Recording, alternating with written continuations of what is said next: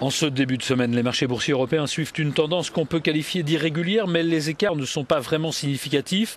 Les replis se situent aux alentours de 0,5% et les hausses sont encore plus faibles. On ajoutera que les volumes d'échanges ne sont pas eux aussi significatifs. L'indice CAC 40 à Paris finit aux alentours de l'équilibre avec des reculs pour Alcatel, moins 3,7% et Suez, moins 3,4%. En progression, Carrefour, plus 3,6% et BNP Paribas, plus 2,4%.